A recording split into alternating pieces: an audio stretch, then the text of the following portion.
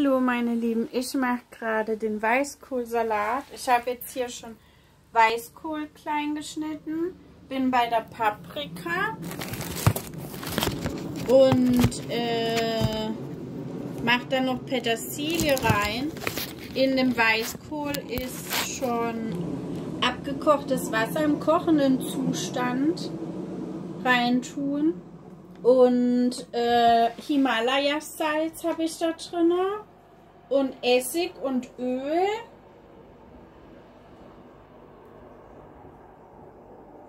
Genau. Und das ko kochende Wasser im kochenden Zustand reintun. Oder beziehungsweise im heißen Zustand. Und ähm, die Petersilie muss ich noch waschen und mache dann die Blätterchen rein, auch so grob geschnitten. Und ähm, der Weißkohl, der muss kochen. Äh, der Weißkohl, der muss schwimmen im Sud. Weil äh, da will ich immer schön viel Flüssigkeit dazu.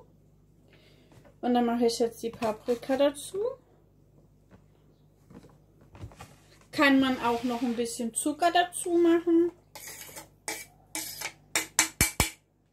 Jetzt, ähm, ich glaube, da mache ich noch mal zwei. Ah ja, das war erst eine.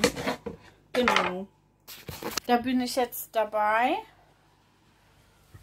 Und da habe ich schon den Liebes ähm,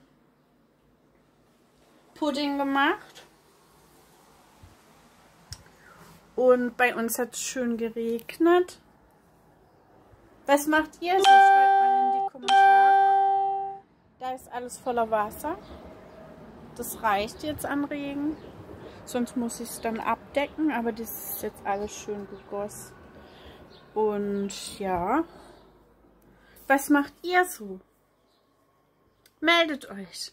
Eure Mamita.